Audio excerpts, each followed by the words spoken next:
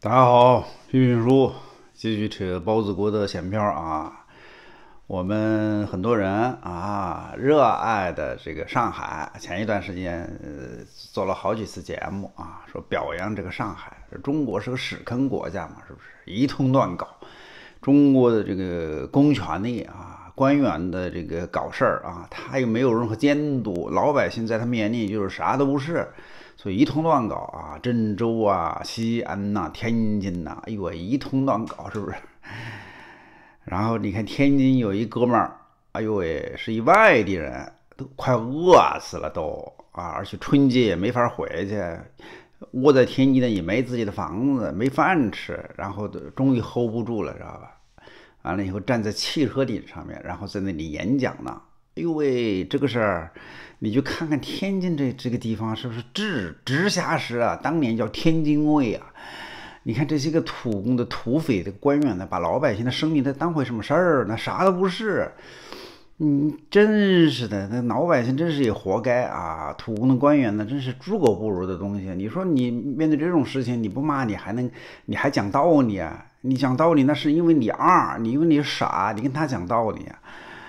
哎呦，大家觉得中国这个地方啊，别的地方都不能待了，是不是？上海也不能，呃，北京也不能待，广州也不能待，天津也不能待，西安就更不能待。那去哪儿呢？去上海呀！所以有很多个段子吧，说我下辈子啊，我要生了孩子，我一定把他生在上海，然后让他成为上海人。是不是中国人他就这样子的嘛？这叫歧视链嘛？是不是？像我们这些个已经离开中国的，我们真的你就是以前我是没有的啊。以前在中国混这个支那这个混吃等死、吃喝嫖赌圈子的时候，我觉得中国最好了啊。中国再差也也不错啊。觉得这个一个中国人离开中国以后啊，你就基本上就跟自己的母语的环境就隔离了。完了以后呢，我们那时候还在笑话。说这个有很多个人离开中国以后，他的观念、他的眼光、他的看问题的方式、他的问题意识，知道吧？他那个劲儿啊，就停留在他离开的那一年。比如说，有的人是一九八九年离开的，哎呀，三十年以后，你跟这个人聊天啊，终于有一天见面了，哇，这个就是完了，你跟他说话还是三十年前的那套话，就是他的观念、他的心智就停留在这个什么。哎，八九年那一年，哎，觉得挺悲哀的，是吧？我们那时候也也也说这些话。但是现在我出来以后呢，可能情况不太一样了啊。可能是为什么呢？可能是现在因为有互联网了，信息也也快了，知道吧？可能他们以前出去没有互联网，国内发生什么不知道。现在情况有点不一样了啊。但是总总而言之，言而总之就是，你从中国出来的人，你就你就本能的看不起中国的那帮人，不管他是北大清华的老师啊，还是下面那个村里面的一个妇女妇女主人妇女主人，是吧？我都看不上。就就就就觉得在我们的眼里，这帮人就是一帮这个什么，哎呀，就是跟跟跟猪差不多啊。猪吃饭了以后还哼哼，中国人就吃完饭了哼都不哼，直接就睡了，是吧？任凭包子弟蹂躏他们。说这个上海不错啊，你如果说你能去出出中国，那就出中国；如果你能不出不了中国，那就去上海吧。哎，上海是很好的地方。结果没想到上海这两天也出事儿了啊！你看今天啊。说上海天山路、娄山关路的汇金百货全部封封闭，知道吧？整个汇金百货我去过的，很大的一个一个一个叫 shopping mall 啊，很大很大的。那里面好点平时没事儿，最清淡的时候，里面绝对是几千人没问题的啊，说不定有时候上万人都有可能，几千人是没问题的啊。说你在里面买衣服的，里面吃东西的啊，各种东西，包括里面你看电影的、散步的，所有一切的一切，一个都不留，全部给封起来，全部给就隔离了啊，统统就关到一个不知道啥地方去了。这他娘的是上海干的事情嘛？所以上海真是经不起表扬，你说是不是？烦不烦呢？是不是？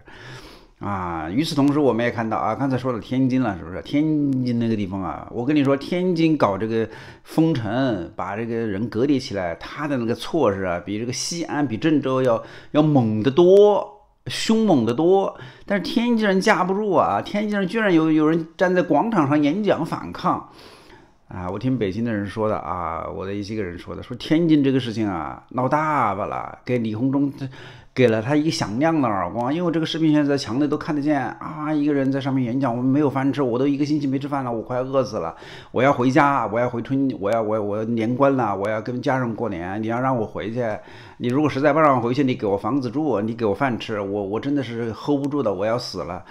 这个东西，他们说北京现在很多人都看到了啊，据说这个西包子也有可能看到了。李鸿忠真是 大意失荆州，没没想到这个什么，在这个问题上摔了一跤，说李鸿忠当官没戏了啊。说为什么呢？说包子弟啊。最近呢下了个死命令，你从上海这个这个情况你看得见啊？上海是没有强制搞什么核酸检测的，也没有强制打疫苗，这是中国是唯一的一个省份没有搞这个事情的。结果现在也把人都关进去了，是不是脑子进水啊？是不是吃错药了呀？不是，哎，不是，我跟你说，是因为这个上海、北京、广州三大城市。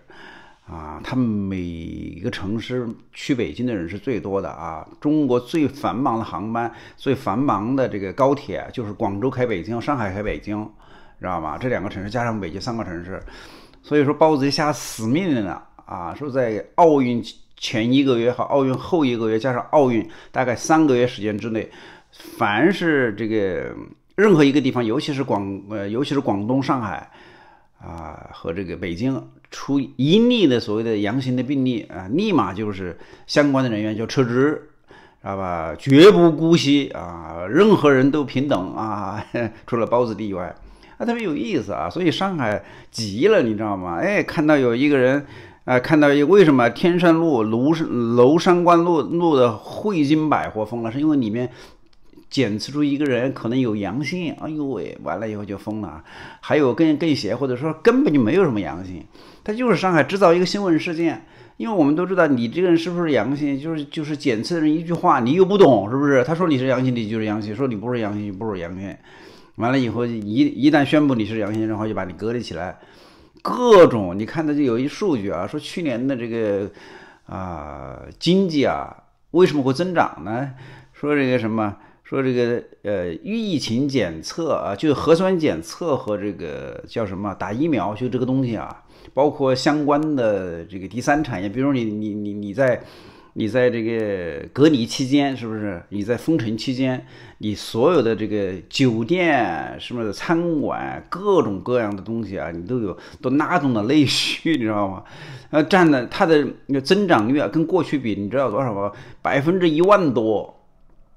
真的，去年大概有百分之九十的这个经济的数据都是来自于这个封城，来自于这个封村、封路、封乡，来自于封小区啊、封城。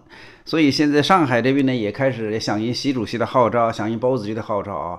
因为他上海也怕出事儿嘛，一旦真的有一个人如果是确诊有问题的话，那上海的那些个官员不保啊，是不是？这个这个官位不保，中国就是这么一个社会。你说你最搞笑的是什么呢？北京啊，今天也出现了一个例子啊，也出现一个人检测是阳性，是在海淀区。上海和北北京同时出现这个事情，为什么呢？你想想，他是人为的制造这些个东西，知道吧？人为的，就是搞一个新闻说海淀什么什么村什么什么有有人出现阳性了，然后把这个地方通。的就就就就给围起来了啊，水都泼不进，鸟儿都飞不出来，就这种感觉。还有什么？现在说说说从美国啊快递，从加拿大寄的快递里也有病毒，你这不是侮辱人的智商吗？你说说这个病毒这个东西离开的人体，武汉病毒这个东西离开人体啊多少啊？他们说是不到半分钟，二十几秒钟就死了，知道吧？就死了。所以你要想。感染上也没那么容易，你知道吗？因为它在空气中或者附着在某一个物体上，它死的特别快。那你说一个快递从加拿大从美国到中国，完了以后你你还在上面检测有病毒，那是什么玩意儿？是不是？那不是开玩笑吗？就是侮辱智力啊！当然都是傻叉呀，是不是？他们说现在这个国家的邮政总局，那所有的那个流水线上面啊，就是那个啊分拣这个邮件的这个什么都在喷消毒水儿。啊，就跟我们在西安看到的一样的啊，在马路上喷消毒水，结果一个人他也不了解情况，开着他的奥迪的这个 A 六啊，假假模假式自己是个当官的，完了以后一路狂奔，结果下面有这个消毒水滑呀，直接就以一百二十公里的速度就撞上那个前面那个消毒水的洒水车去了，车毁人亡。哎，你说是不是？你看现在邮政局也是这样子的。哎呦喂，那个那个整个临时加的那个消毒水的这个喷雾的系统，把所有的邮件都喷一遍。哎，你说中国是个多么荒诞的国家啊！所以你你看到这些事情呢，我们就觉得。他一次一次的就洞穿你的对这个国家的信心。你说北京待不下去吧？去村里面，村里面更严重，知道吧？千万不要去村里面，死都死在北京，真的。啊，真的是中国中国有句老话是对的，就大隐隐于市啊，你千万不要隐在什么小县城里面，或者隐在什么瑞丽啊，隐隐在什么大理啊，都是老子有病啊！你你那个小地方就那么几个人，你还有点嘚瑟，有点个性，你去了以后立马就盯住你，你知道吗？所以我跟很多人讲，就是因为像我有一朋友啊，他在北京，在北京就是一个非常普通的，谁都不会去过问他的。啊，然后吃饭呢，就就都都不会看他一眼的，就这么一人。回到湖湖南或者回到湖北，立马就变成一个这个维稳的对象。哇，跟他身边调了好多人，国安天天找他喝茶。因为为什么？因为那个地方他没人，你终于有一人回来了，知道吧？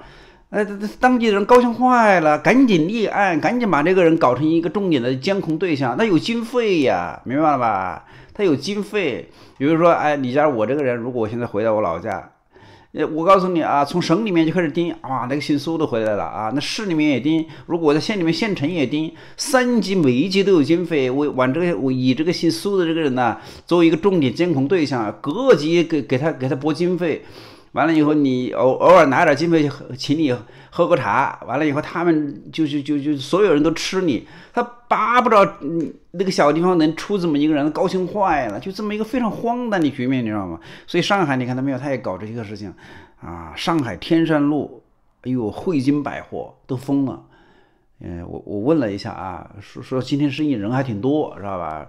好几千人呢，至少是五千人，这五千人去哪儿了呢？没有任何说法。啊，关在哪儿呢？你说你一一口气关哪儿呢？是不是？如果是关在酒店里面，酒店一一天多少钱呢？是不是？有没有医生呢？这所有的一切的一切就没人管，你知道吗？就包子一声令下，喝了一泡猫粮，一声令下，下面的人就跟着发发神经。中国真的是个疯人院，哎呀，所以。虽然现在西方社会吧也是一通乱搞啊，但是 再怎么乱搞也不至于像中国这么不尊重人嘛，太不尊重人了，真是缺德呀！谢谢。